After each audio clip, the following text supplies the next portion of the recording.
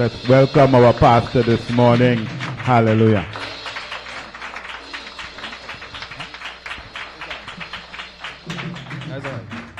Praise the Lord. Could we give Jesus Christ a greater round of applause? Amen. Are you glad to be in the house of the Lord? I said, Are you glad to be in the house of the Lord? We, the church, we have a right shout and sing. Amen. God is in this place. We are expecting awesome things. And while during the worship, a song dropped in my spirit, Eagle's Wings. Brother Paul, I think you all are familiar with that song, Eagle's Wings. Let's sing that song. Hallelujah. It starts off by saying, Here, here I am waiting. Here I am waiting. Come on. Abide in me, I pray. Here I'm longing. Here I am longing for you. Hide me in your love. Sunday monitor. Hide me in your love. With uplifted hands. Bring me to my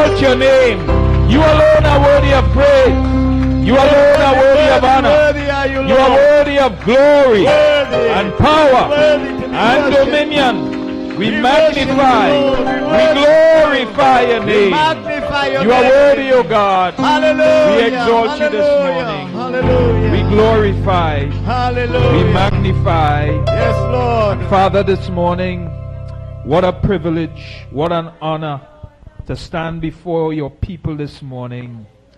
And Lord, I pray that you will amplify your word through my voice. I pray that the word will go forth with power, with might, with clarity. I pray that you will pierce every heart, mighty God. We are praying for transformation and change. Lord, we say, have your way. Take control of every proceeding here this morning. We give you free course. We welcome you, Holy Spirit. We ask that you will move by your power, by your grace. We ask that you will touch each person in this service this morning. We thank you, Lord, that you are going to confirm your word with signs and wonders following. Mighty God, that sick bodies will be healed, demons will be driven out, miracles and breakthroughs will surround us in the mighty name of Jesus. And we are careful always to give you the praise, the honor, and the glory. And the church of Jesus Christ say, Amen and amen and amen. You may have your seats as we put our hands together for the Lord. God is indeed a good God. We thank God that we are on this last Sunday in August. Oh, how the months are moving quickly. Amen. And there are some interesting things that the Lord has placed upon my heart. I believe that the Lord is taking this church to new heights. Amen. He is taking us where we have not gone before. And back in 1924, 100 years ago, there was a professor in agricultural science at the University of Tokyo in Japan. And he had long wanted to own a purebred Japanese Akita dog. This is something that he wanted.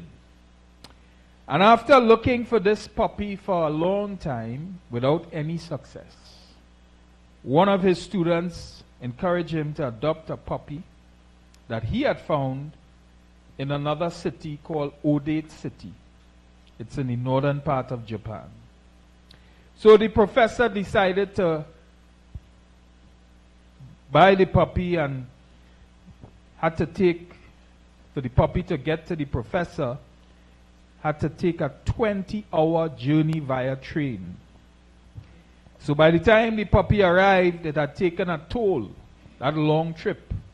So much so that the owner, the professor, he thought that the puppy was dead. And he had to nurse this puppy back to health over the next six months. So he named the puppy Hachi. In Japanese, that word Hachi means the number eight. And in Japan, eight is a lucky number. So that was his lucky dog. Soon enough, Hachi and the owner became best of friends. The professor loved this dog so much, treated the dog as a son. The two of them were inseparable. And as Hachi grew older, he started to see the owner off to work on a morning at the train station. And then when the train would come in, guess who would be there to greet and meet the owner as he came in? Hachi. He would be there at the train station. However, on the 21st of May 1925, only two years after Hachi was born, as usual, he went to the train station on that fateful afternoon, waiting for his best friend to arrive. But unfortunately, the owner never arrived. It turned out that the professor had suffered a massive cerebral hemorrhage that same day, and he died suddenly and unexpectedly while he was at work. To that time, Hachi had been with the professor for a year and four months. Now, this is a true story. And after that tragic incident, Hachi was taken in by the former gardener of the professor's family, and he went on to live another eight years without the professor. You say, well, what is the point of the story? Interestingly enough, and without fail, that dog Hachi kept going to the train station every afternoon. Could you believe this? Every afternoon for the rest of his life. So for the next eight years, every afternoon, that puppy went to the train station at the time that the train was supposed to come in.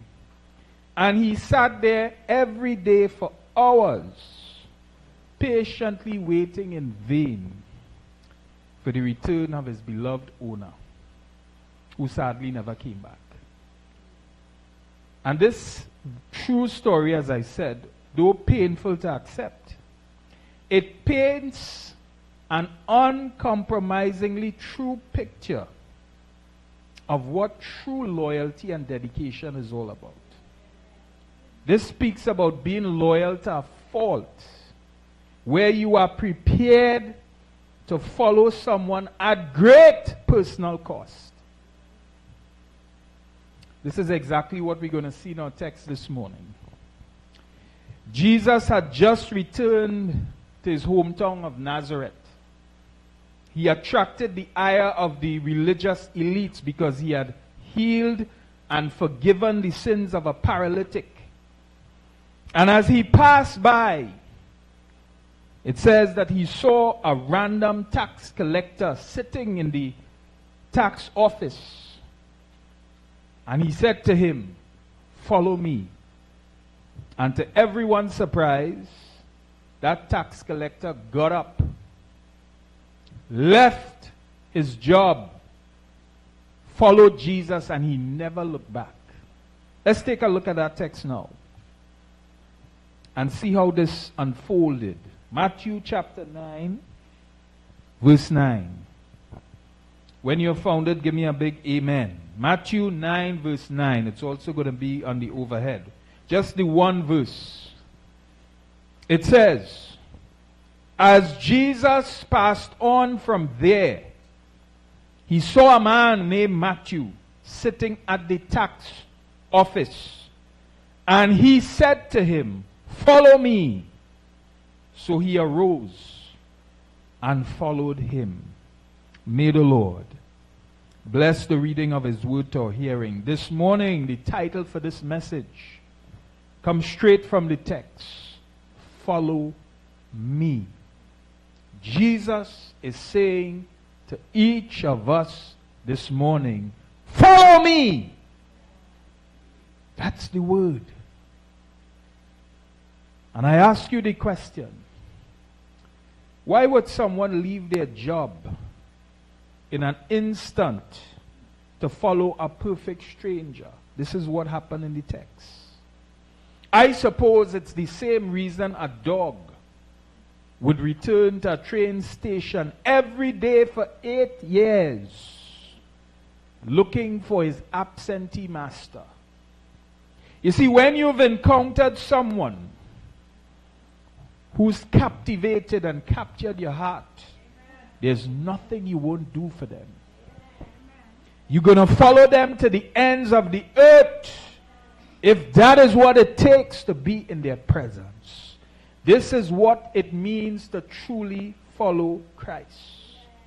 Now you understand why Jesus himself said, Many draw near to me with their lips but in their hearts they are far from me. You can't claim to follow Christ on the outside and be distant from Him on the inside.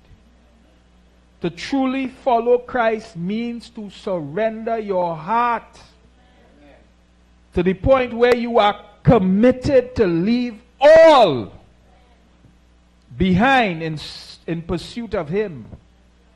This leads me to the first point I want to make this morning on what it means to follow Christ. And it's this to follow Christ means to unfollow the world. To follow Christ means to unfollow the world. And right now, social media is a buzz.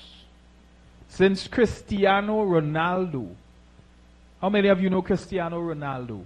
The world famous footballer. Just about three or four days ago, he launched his first official YouTube channel. Now, Ronaldo is the most followed person on social media in the world. Across all platforms, so Facebook, Twitter, Instagram, you name it, all of them. He has 917 million followers. The most followed person in the history of the world. And yet, this number got a significant bump in the last couple of days. I said just Wednesday gone, he launched his first YouTube channel. And within the first two days, his YouTube channel hit a record 30 million new subscribers inside two days. He said it's projected to cross the 100 million mark in a few more days. With this gigantic social media footprint, Ronaldo will continue to influence successive generations and followers into the foreseeable future. Now, whether you are one of Ronaldo's followers or not, I am certain that you are being influenced by someone or something. You say, How can I say that? Because whether you realize it or not, we are all following someone. In fact, you and I, we've been following others throughout our lives. Most times, unknowingly. For example, let me give you some examples. The way you brush your teeth, the way you comb your hair, the way you dress, the type of clothes you wear, the way you behave, your career choices, all of these things that you have done and continue to do is because of the influence of someone upon your life. You may have never stopped to think about that, but I'm certain if you go back, you'll realize that that is exactly what you do. And I can give you an example of this. So I talked about brushing teeth. I remember when I was small and growing up, you know, your parents would just tell you, you know, you brush your teeth. Like that. But a few years afterwards, I remember when I went to the dentist, he asked the question, How do you brush your teeth? I show him I brush my teeth. He said, No, don't brush your teeth so at all. Always brush your teeth away from the gum. I don't know how many of you remember that or had that experience, but that is what the dentist told me. And since he told me that, maybe that is, I don't know, maybe 30 something years ago, that's how I brush my teeth. I always brush my teeth now away from the gum. Why? Because I'm following what I was told by the expert. And that's the point I'm bringing to us. You have been following people all your lives, whether you are aware of it or not. And you are where you are and who you are because of the people that you've been following. Everything we do and how we approach life is because of the people that we have been following, whether knowingly or unknowingly. You say, well, how come? Because that's human nature. That's how we've been wired. We, at some level, have an innate desire to follow someone or be led by someone. This comes from our God given capacity for worship. We are always searching to follow after someone or be led by someone. And so the question for you this morning is who are you following? And where are they leading you to? In the text, Jesus gave us an invitation to follow him. As he walked past Matthew, he said, Follow me. And this morning, and when Matthew heard that, what did he do? He got up and he followed him. He left everything behind. And this morning, Jesus is passing by. He says, Follow me. What will be your response? To truly follow Christ, the first thing you need to do is unfollow the world. You say, well, what does that look like? Do I have to quit my job? Do I have to abandon my responsibilities in the world to follow Christ? No, and a thousand times no. Although Jesus does applaud that type of devotion. But what Jesus really meant is to ensure that your priorities in this life are in the correct order. Jesus is saying to you that he has to be first place and everything else have to come after. He makes no apologies. He demands first place or no place at all. That is what it means to follow Christ. It means that he is your number one priority. That's why in the very next chapter of Matthew, Matthew chapter 10, verse 37, listen to what it says. And you see, people didn't understand Jesus, you know. He would say many controversial things. But now you understand what he meant when he said these words. Matthew chapter 10, verse 37 to 39. He says, He who loves father or mother more than me is not worthy of me. Is it that Jesus is saying, Don't love your father and your mother? No, because that is one of the commandments. Love your father and your mother. He's not saying to hate your father and your mother. He's saying, Make sure you have the correct priority. I demand first place or no place at all. You can't put your father and your mother above Jesus. We love our parents, but Jesus says, I must come first. He says, He who loves son or daughter more than me is not worthy of me. He's not saying, Don't love your son and daughter, you know. He is saying, I demand first place in your life. I must be first. He goes on, he says, And he who does not take his cross and follow after me is not worthy of me. Sometimes it's going to be challenging to follow Jesus because you're carrying a cross. He says you have to take it up. You have to put me first. It's not always easy to put Jesus first. It's not always easy to do that. But it's not impossible. He will not ask us to do something that we cannot do.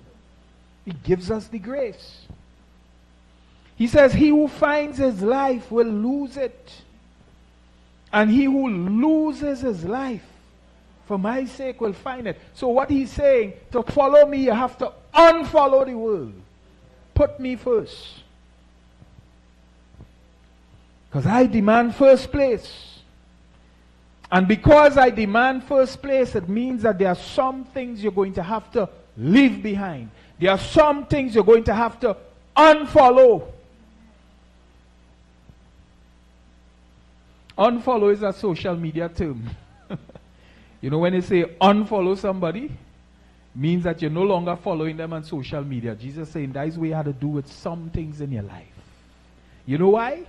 Because there are some things in your life that are huge distractions. They are huge barriers that will prevent you from following Jesus. And so, if you are to be a true follower of Him, you're going to have to unfollow those things. And unless you don't do that, unless you do that, you're not going to be a true follower of Jesus. You'll be a fake follower. But there's a secondary way in which we follow Christ that we need to pay attention to. And it's this to follow Christ means to follow godly leaders. To follow Christ means to follow godly leaders. In 1 Corinthians chapter 11 verse 1, the apostle Paul said to the Corinthian believers through his writing, he says, follow me. Follow me as I follow Christ. We are Christ's ambassadors in the earth. We are the, the, the hands and the feet of Christ represented in the earth. To the unbelieving community that you interact with, they're not seeing Christ, you know. You know who they're seeing? They're seeing you. And you must be able to say to them, Follow me as I follow Christ. Because I am following Christ. And that's what Paul was saying to his hearers. It is biblical to follow men and women of God who are themselves following Christ. Jesus himself said, The things that I taught you committed to faithful men. Paul told Timothy, he says, Watch your life, watch your doctrine, that you will not just save yourself, but you will save others also, those who are following you. And one of the ways that we can follow these godly men and women is by following their words and their works, their example.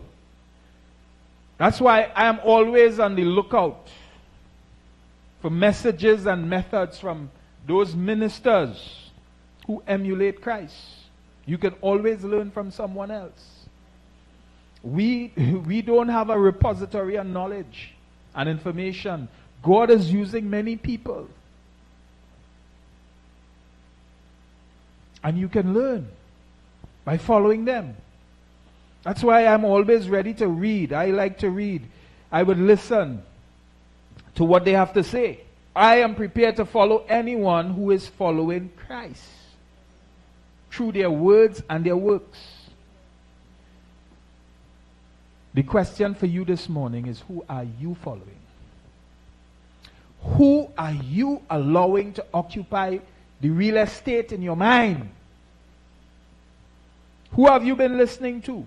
Who have you been allowing to influence your thoughts and your thinking patterns? You may say, well, that isn't a big deal. Really?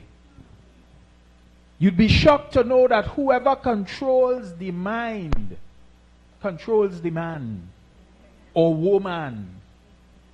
Whoever controls the mind controls the man. That's why the writer of Proverbs 23 7 says, As a man thinks in his heart, so is he. So your thoughts create your destiny. So whoever you allow to manipulate and shape your thoughts will ultimately shape your destiny. I want to repeat that. Whoever you allow to manipulate and shape your thoughts will shape your destiny. That's why it's important for us to ensure we are wearing the helmet of salvation. That's why it's important for us to ensure that we are using the shield of faith. Because what does the shield of faith do? Yes, it quenches the fiery darts of the enemy. Because what the enemy does, he fires darts. You know where those darts, he wants to hit, send those darts into your mind. The mind is the battlefield because he knows if I could infiltrate their thoughts, I could affect their destiny. It's a mental warfare taking place. That's why he is relentless in his pursuit to control us by trying to control our thoughts, trying to control our thinking patterns. That's why Jesus says to enter the kingdom, the first thing you have to do is to repent. The Greek word there for repent is metanoeo. It means to renew your mind. It means to think differently. Do not allow your thinking to be controlled by this world system. The devil is the God of the world system. And he tries to superimpose his thinking patterns because he knows that if he could influence your thinking, he will influence your destiny. And what is his ultimate goal? To drag you to the pit of hell.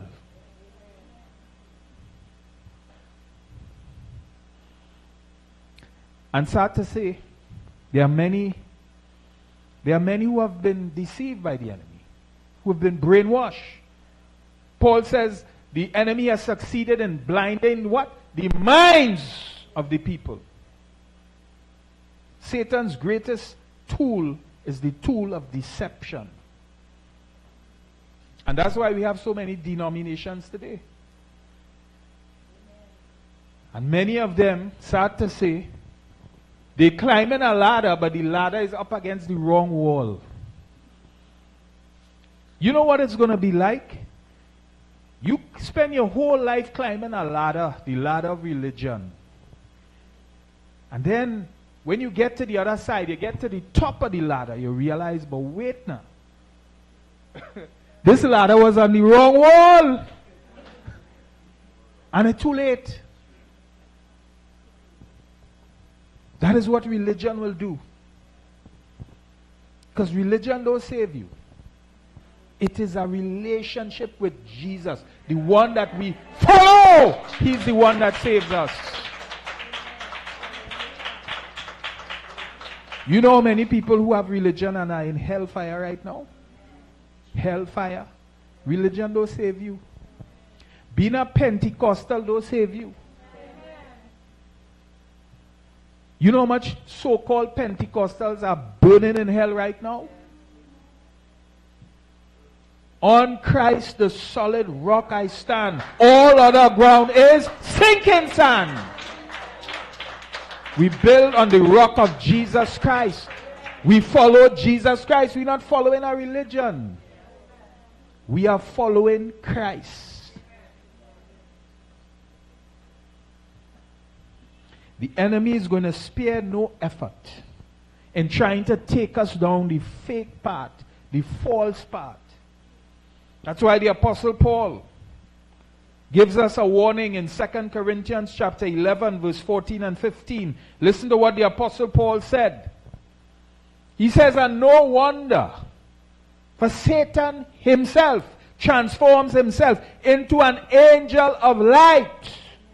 Therefore, it is no great thing if his ministers. You didn't know that Satan has ministers? He has wolves in sheep's clothing. He has false and fake ministers parading and pretending to be genuine. Jesus says the wheat and the tares will go together. Paul says, therefore, it's no great thing if his ministers also transform themselves into ministers of righteousness, whose end will be according to their works. Satan is going to try to trick you into following his fake proxies. Because he knows if I could infiltrate their thoughts, if I could affect them, their thinking patterns, then their downfall is all but sealed. Will just be a matter of time. Because whoever controls the mind controls the man. Who is controlling your mind? What is controlling your mind? There's a third and final way in which we follow Jesus. And it's this to follow Christ means to follow his word, both the spoken and the written word. To follow Christ means to follow his word. If you are not following the word, you are not following Christ. I hate to burst your bubble. It's as simple as that. Jesus says, if you love me, you will what? Keep my commandments. And my commandments are not grievous. They are not burdensome. They are not impossible to follow. This is what Matthew did in the text. Jesus was passing by, walking by. See that man say, Nong de, where brother Joseph say, Nong, and he said, Follow me. And continued walking.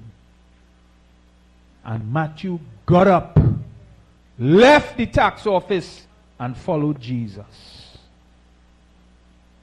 How many times does Jesus have to speak to you before you would obey? How much times does he have to tell you the same thing? I want to tell us something here that Jesus' invitation to follow him isn't a suggestion, it's a command. When he says, Follow me, he's not giving us an option, he's giving a command. He says, Follow me! Because Jesus knows that the only way for you to be successful in navigating this maze that is called life is by following Him. If you th- take any other path, any other path, but the path that runs through Jesus Christ, you're going to end up hitting a dead end. You're going to end up going over a precipice. You know why? Because Jesus says, I don't just know the way. No. He says, I am the way. I am the truth. And I am the life. Anyone who tries to come to the Father but through me, you're going to miss the mark. To follow Christ, you're going to have to make a deliberate and intentional choice to follow Him. Note what I said. I did not say follow a church. I did not say follow a man. I did not say follow a ministry. You're going to have to follow Christ. Sad to say there are many ministers are putting themselves in the place of Christ. Jesus says, I will have no competitors. I will not share my glory. We are following Christ. Because you're not going to end up following Christ by accident. You're not going to just stumble one day and decide to. No, it's a deliberate choice you have to make. You have to choose. That's what Matthew did in that moment when Jesus passed by, his whole life hung in the balance. What am I going to choose to do? Am I going to just sit down? Or am I going to arise and follow Christ? That's the choice that you have today. The Greek word that is used for the word follow in the text is the word akoloutheo. Akolou-theo. A-K-O-L-O-U-T-H-E-O. That word means to come after. It means to come behind. It means to pursue. Either physically or in behavior and mindset. And that's what a disciple is. A disciple is a disciplined follower of Christ. We follow Christ in everything that he did. We follow his words, we follow his works, we follow his attitude. We follow him. We pursue him. Deliberate and intentional choice making to, to follow him. It means then that we are keeping our eyes on him. You can't follow someone if you're not keeping your eyes on them. You can't be driving down the road and you're, you're, you're looking so, you're looking back, you know, and you're, you're driving. No, you have to look ahead. Paul says, focus on the prize. Focus on the upward call in God. Who is the prize? Jesus is the prize. You have to focus on Him. And one of the primary ways that we follow him is by pursuing his word. Both the spoken and the written word. What does God say? What is he saying in his word concerning you? What did he tell you this morning when you woke up? What was the Rhema word? This God that we serve is a speaking God, you know. He doesn't just speak through the written word. He speaks through the audible word, through the Rhema word, a word for the moment. He speaks. The question is, are you listening? Matthew and the other disciples, they heard the voice of God and they pursued him. They did not take him out of their sights. They pursued the word of God for their lives. What are you pursuing? What is driving you this morning? What gets your attention? What moves you? What are you passionate about? Jesus says, to be a follower of me, you need to be passionate about my word. My word is the thing that ought to be driving you when you wake up in the morning, when you go to sleep at night.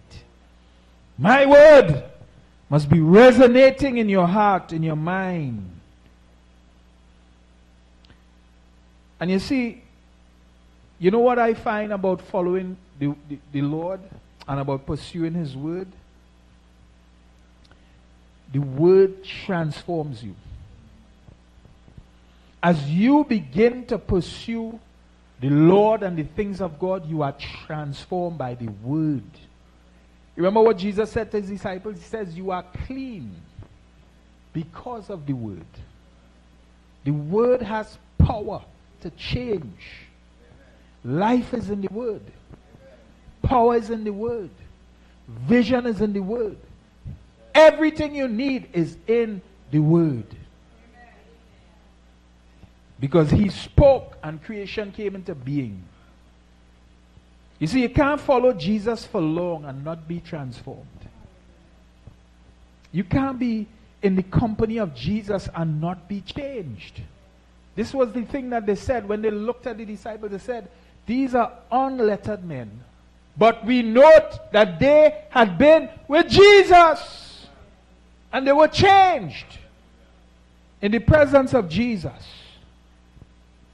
That's why Jesus himself said in John 10 4 and 5, He says, My sheep follow me because they know my voice. He says they will not follow a stranger because they don't recognize the voice of a stranger. Whose voice are you following this morning?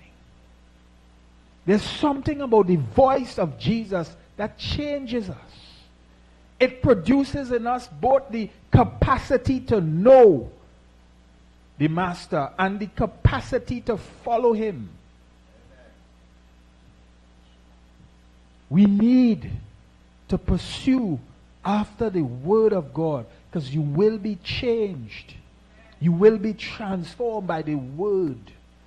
The Word is going to give you intimate knowledge of Jesus, the Word is going to give you the capacity to continue following Jesus. And as I conclude this message this morning, I want to remind you that it is a privilege and not a pain to follow Jesus. It is a privilege and not a pain. You know how many people in hellfire now wish they were sitting where you are sitting with another chance, with another opportunity, but it's too late. They are in pain. And I'm saying it is a privilege to follow Jesus. It's a privilege because when we follow Him, we obtain the prize. He is the prize. As we follow him, we are changed from glory to glory. The more time you spend in his presence, the more you become like him. We said there are three ways that you can follow Jesus and become more like him. Firstly, You follow Jesus by unfollowing the world. Because Jesus says no man can serve two masters. Either you're going to hold on to one and hate the other, or vice versa. Secondly, we follow Jesus by following godly leaders who model the message and the ministry of Jesus. Third and finally, we follow Jesus by following his word, both the written and the spoken word. This is the acid test of true discipleship. Jesus says, My sheep know my voice. They know my voice. And because they know my voice, they follow me. They're not going to follow a stranger. And so I appeal to you this morning. Heed the voice of Jesus. You say, What is Jesus saying to me? He's saying to you, Follow me. Let's bow our heads this morning. We give you praise. We give you honor. We give you glory. Lord, you are worthy of all praise. You're worthy of honor and glory this morning. We magnify, we glorify your name, Lord. Father, I thank you for this word. This word that went forth into our hearts. And Lord, you are placing the spotlight on the type and quality of disciples that we are. You are calling us to a higher level. You're calling us to keep our eyes on you. You are calling us to follow you, Lord. Lord, we understand that sometimes it's difficult to follow you. Sometimes the road gets difficult. And Lord, we know that you understand this.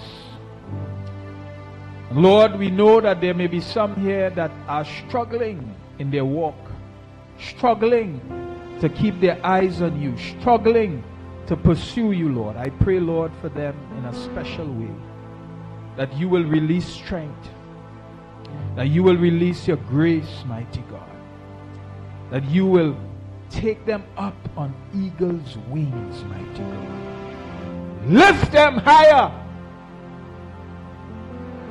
where the air is rare.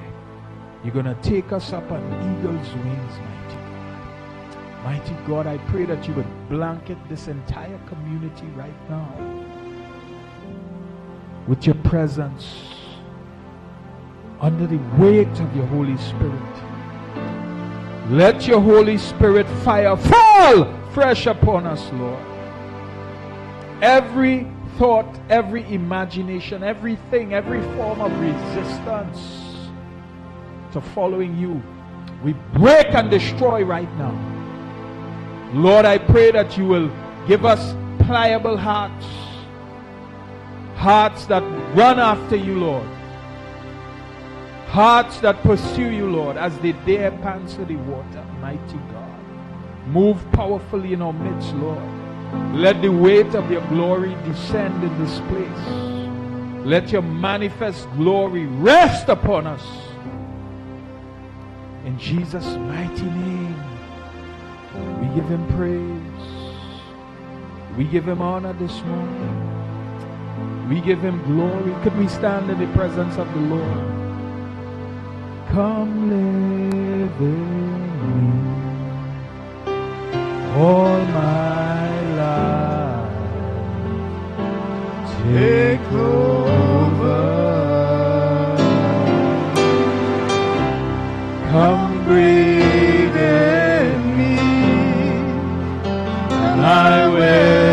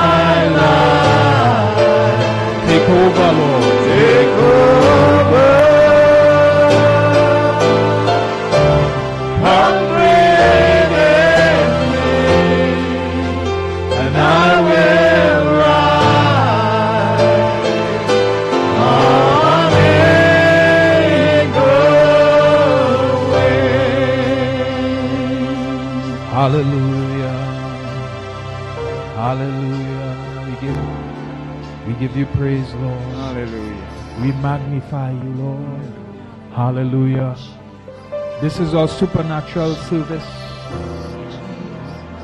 You have a, a need this morning for supernatural intervention. You have been following Jesus and you feel like things are not working. You feel like you're hitting a dead end. You feel like you're hitting a roadblock. The presence of the Lord is here. Presence of the Lord is here. And in His presence, there is fullness of joy. In His presence, there is breakthroughs. So you need a breakthrough this morning. You need supernatural intervention this morning. I want to invite you to come to the front. We are going to pray and minister under the inspiration of the Holy Spirit.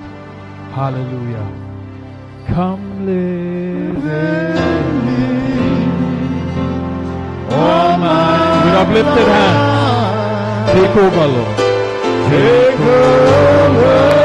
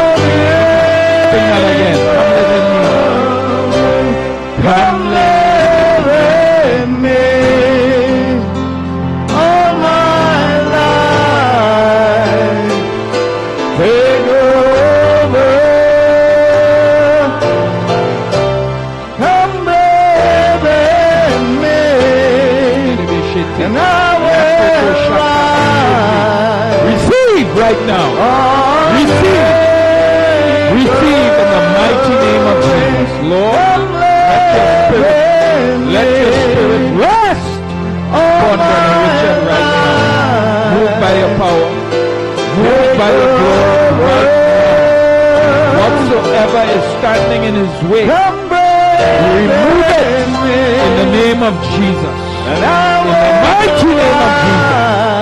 Mighty God, let there be, let there be a change. Let there be a transformation. Oh let there be a fire that ignites his heart, that burns through the dross. Mighty God, I pray that you will use him powerfully in the kingdom. And mighty God, mighty God, we release him right now. We release him as an archer release as an arrow. Brother Richard, we are releasing you into the purpose and destiny of God that God has for your life. I'm releasing you right now. God says He's going to take you up on eagle's wings. We stand in agreement with that we release it over your life in Jesus' name. Come live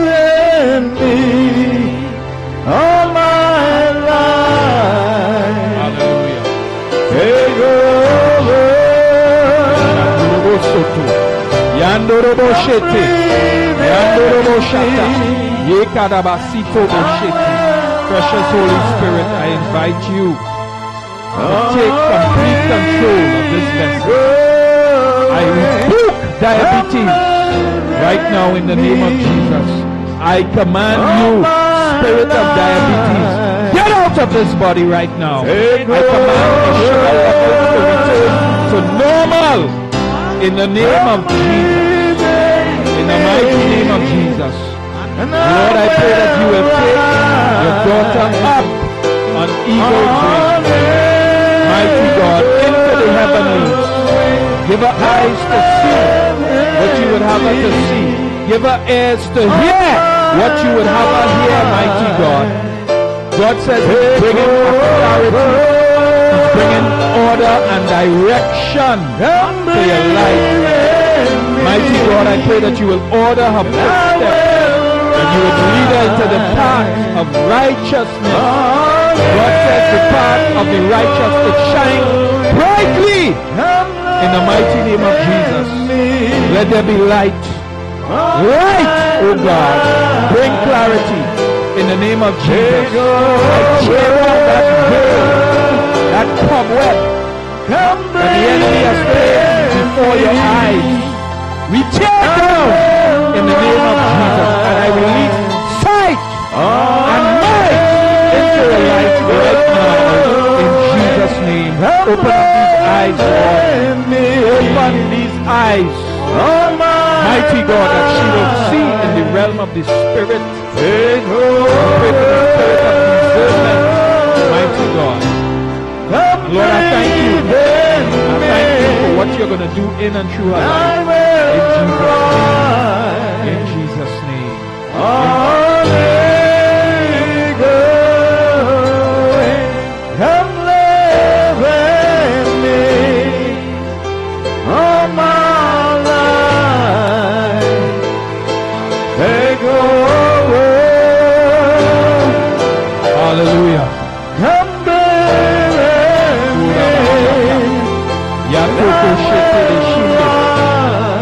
God, you are sufficient for all things. Lord, you know exactly what is needed in your daughter's life. Mighty God, mighty God, I pray that you will shift her focus, shift her gaze, shift her focus and shift her gaze. Mighty God, I pray that you will help her to let go. That's a prayer, Lord. To let go.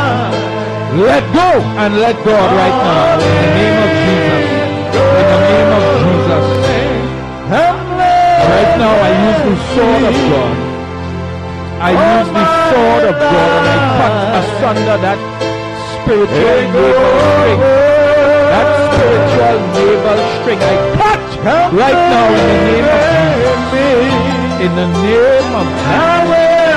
Lord, I pray for her family, daughter, granddaughter, son, son-in-law, mighty God. Minister to them. Minister to them. In the name of Jesus. In the name of Jesus. And Lord, I pray your purpose, your purpose for her life will come to. Mighty God. Give her eyes to see. Give her eyes to see what you are doing, Lord. Give ears to what you are saying, Lord. In Jesus' mighty name. Let it be so. In Jesus' name. Amen. Hallelujah. We give you praise. We give you praise, Lord. We give you honor. We give you glory. You are worthy of all praise. You are worthy of praise. Lord, I thank you for all that you're doing in Sister Tora's life. You brought her thus far. Thus far. And God says He's not finished with you yet. He's not finished, Sister Tora. But God says there's one thing that is needful. One thing, one thing that is needful. That you will sit at His feet. Even as Mary sat at His feet. Lord, I pray that you will cause everything to fade into the background as she begins to focus and fixate her eyes on you in the name of Jesus. One thing is needful. That's what I hear the Lord saying, Sister. One thing. One thing is needful that you may pursue the Lord, that you may become enwrapped in the Lord right now, in the name of Jesus. In the name of Jesus. God says all those other things, all those other things, things that are bothering you, things that are disturbing you. God says those things are low priority, low value. He says, pursue me, seek after me, seek after me. So right now, Lord, I release the grace, I release strength, I release favor,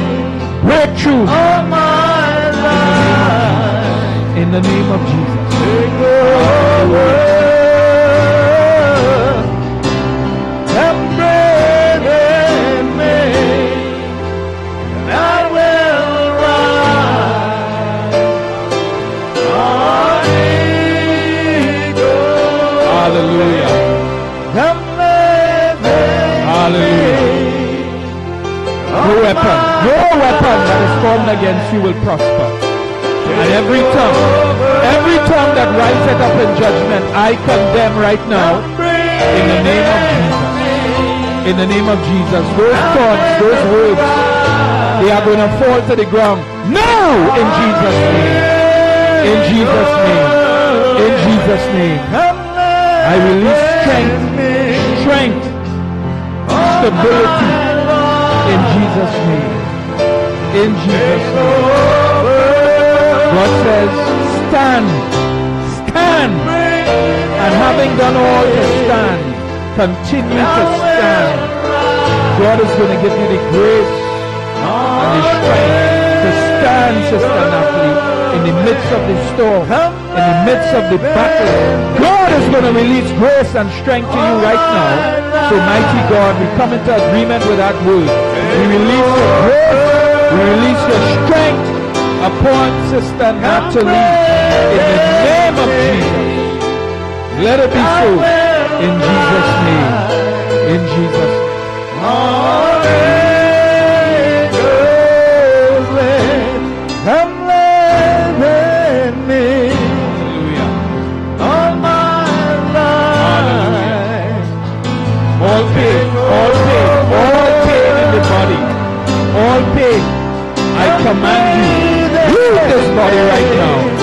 In Jesus' name.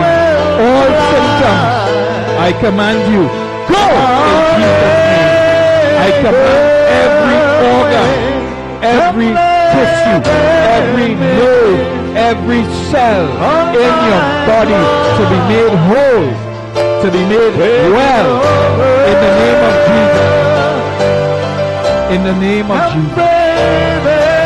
Every spirit of infirmity, spirit of infirmity, spirit of infirmity, you are out of bounds. I cover Brother Matt from the crown of his head to the sole of his feet with the blood of Jesus Christ. Every spirit of infirmity, I command you, leave this body right now. You will not torment this body any longer. In Jesus' name, I terminate your assignment. I command you, loose, Brother Matt, now. In Jesus' name. In Jesus' name. It is so. It is done. In Jesus' name. Jesus' name.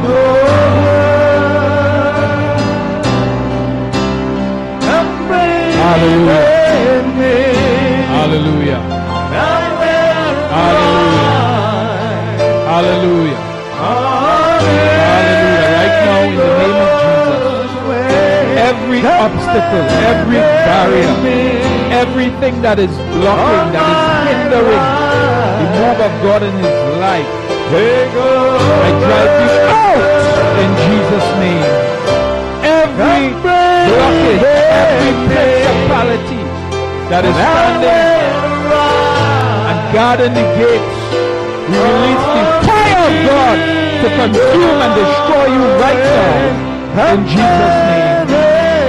Lord, I pray that you will activate his angels. Angels will be ascending and descending all around him taking the answers, bringing the answers to prayer, mighty God. Father, I pray that you will create an open pathway, open pathway before him right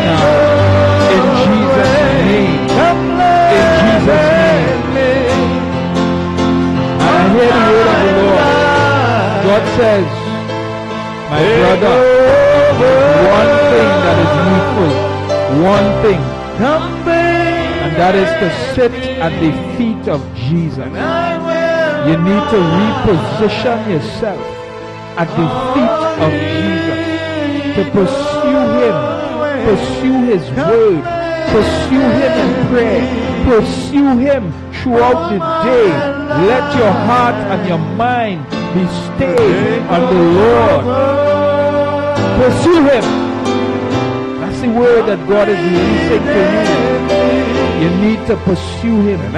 You need to set yourself apart to spend some time in the presence of the Lord. God says supernatural things will be manifested in your life. Supernatural breakthrough. They are on the other side of your time with the Lord.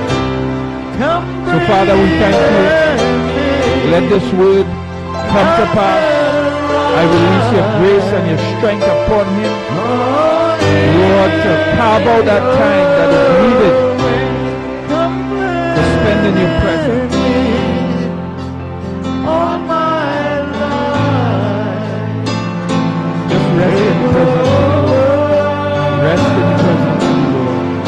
Abide in the presence of the Lord.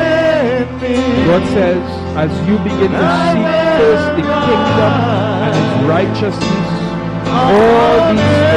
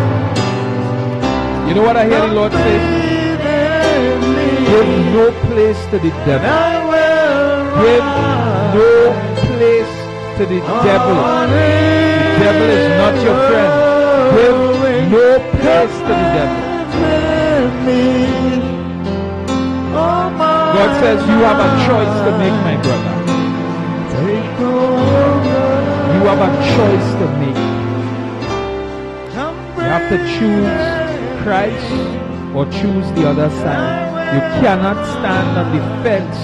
That's what God is saying to you. You are on the fence. God says you need to come off the fence. Come off the fence. Come off the fence. Make a choice. Make a choice.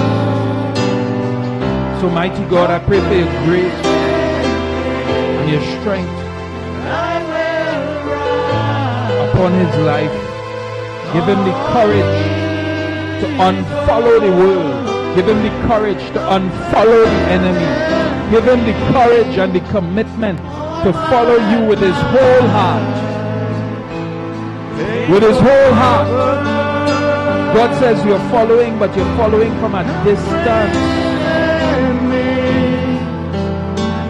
You are beyond the fence. You need to come inside. God says you need to come inside.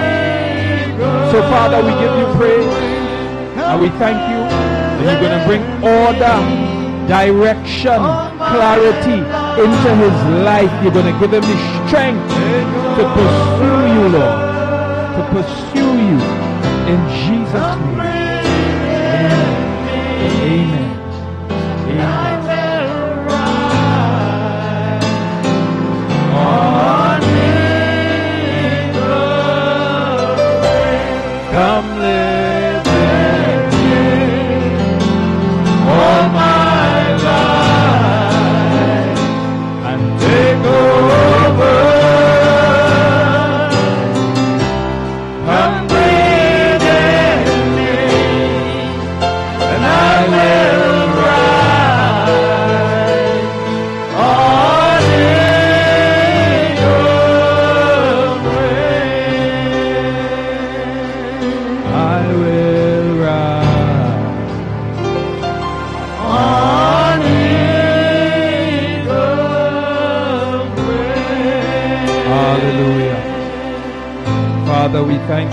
You have done here today.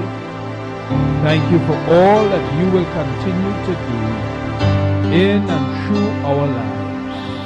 In Jesus' name, amen and amen. So at this time, we're going to wait on you for the tithes and the designated offerings. Praise the Lord. Worship team. Hallelujah.